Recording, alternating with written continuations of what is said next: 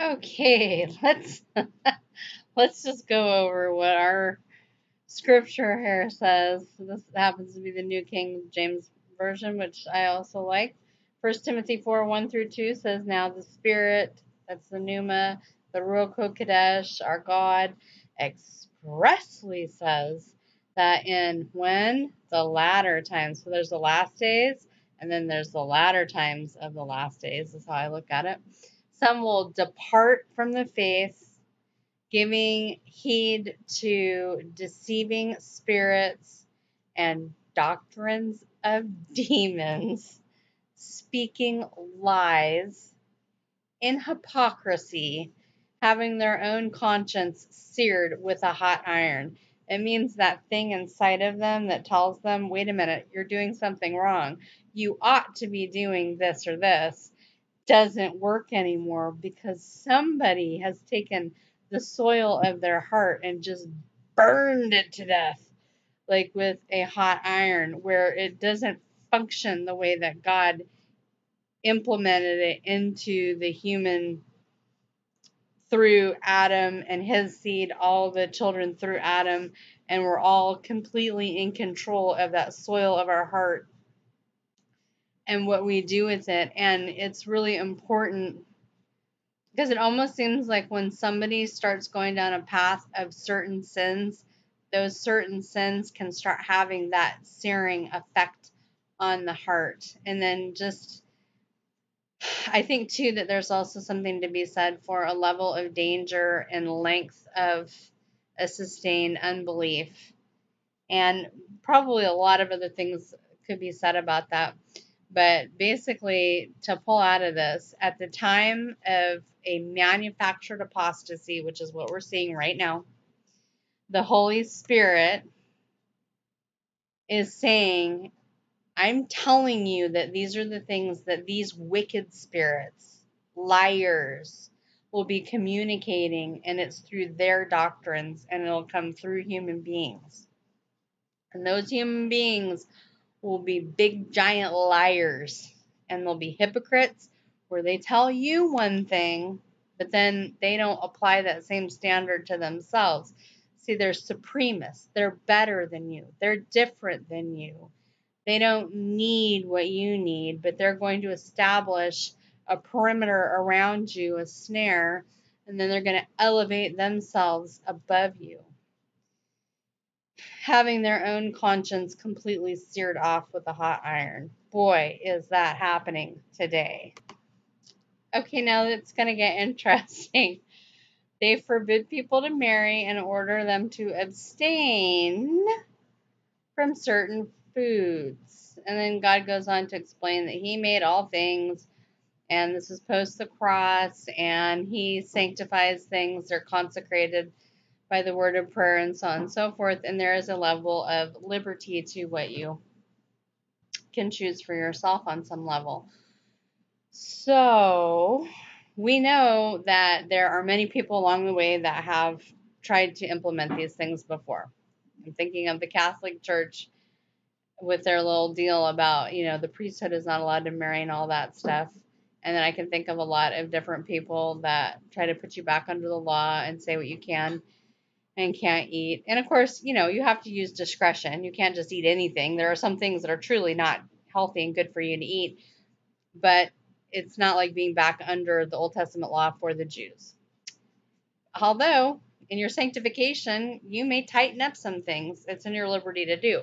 But what you can't do is say that everybody has to do a certain, you know, thing when it comes to these two categories because as we just found out, there are doctrines of demons that come along and challenge the wicked spirits through humans challenge what the Holy Spirit has already said in His Word. So, would you be surprised to know that they're going to, before it's already being put out to the world with this blood sacrifice covenant with the Noahides, the 70 nations that we've talked about so much? On the Mount of Olives with Israel as their Lord and Savior and their coming Messiah. there's this article, and some of it is just weird. And it's almost like they start leading you in the direction of saying the left is bad, the left is naughty. They want to promote vegetarianism, birth control, and oh cannibalism. Weird, weird, weird, and more weird. And then just a little more weird. But as you start going through this and they start telling you how weird this whole climate change thing is and how all these leftist people want to you know, take you and warp you into this weird new brave world 1984, you know, creepy creepington where they want to change the food pyramid. They want to do all this reduction in meat consumption. And this article, you know, also tell you about the evils of Bernie Sanders and and uh, his population control. So they're sporting this idea that now instead of loving your neighbor, you should eat your neighbor. but, you know, you can just see the calling card of Lucifer with that because God said, what? Don't eat your neighbor, right? So Lucifer and his band of psychopaths are like, totally eat your neighbor. And, and, this will be a moderate solution to global warming. okay. So you're tapping through this article that's called Climate Change An Excuse for the Left to Promote the, the Vegetarianism, Birth Control, and Cannibalism. I don't know if I told you that or not. Brand new, just out today from your good friends, the Chabadist Jews, from Breaking Israel News. So you're meandering through this, and they're trying to make a case. that Some people somewhere might want more birth control, and then they're talking about Elizabeth Warren and she's, you know, talking about cruising this idea of, you know, universal veg- vegetarianism.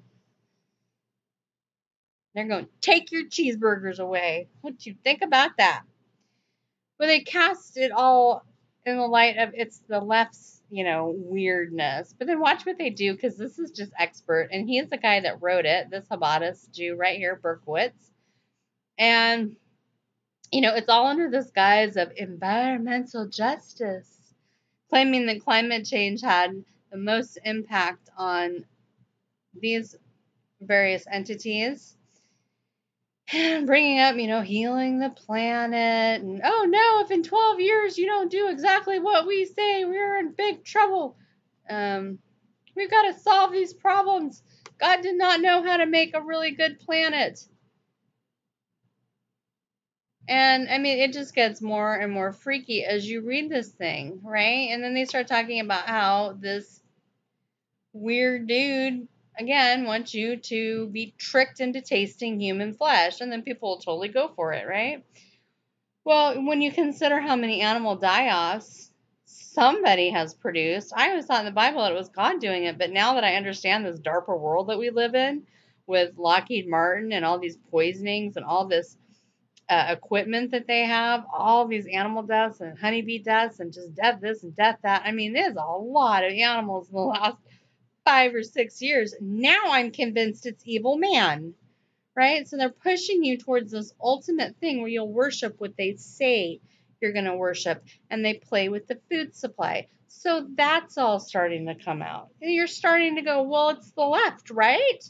It's the left who are big, giant whatevers, right? But then you start to find out that, hey, some of the rabbis from Chabad think it's a pretty great idea.